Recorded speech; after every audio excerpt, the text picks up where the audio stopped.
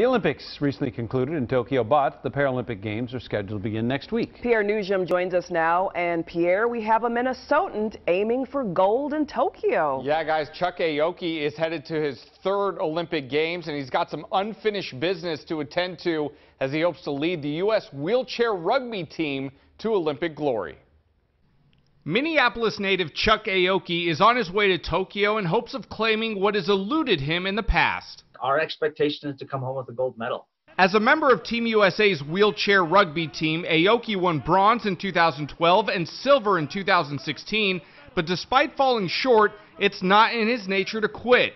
As a child, Chuck noticed his body didn't function in the same manner as other kids, and soon his family would discover that Chuck was suffering from a rare condition called hereditary sensory autonomic neuropathy type 2 in lay people's terms, people often call that congenital insensitivity to pain. I don't have any sensation from my elbows down and from my knees down, and so I, and actually really more like my thighs down.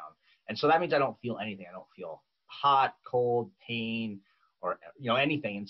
Chuck's condition, however, never slowed him down, and when he discovered wheelchair rugby, he was hooked. I got in the chair and they knocked me around. I went flying to the walls, you know, just everything, and I just and I fell in love with it right away.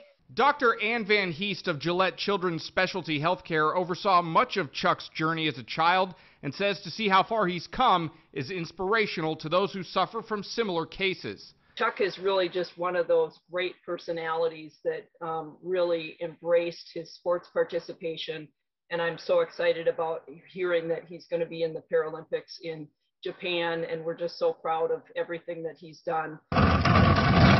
The road to Tokyo wasn't easy, but Chuck was built tough from the get go.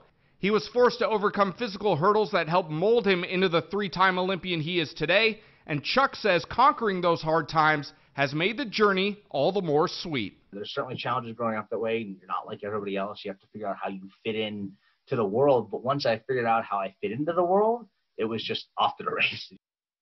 Chuck and the Americans will open tournament play against New Zealand, and what makes these Olympics a little extra special is Chuck comes from Japanese ancestry, and he says if he can win a gold medal in Japan, that would certainly be a memory to last a lifetime. BC, Randy?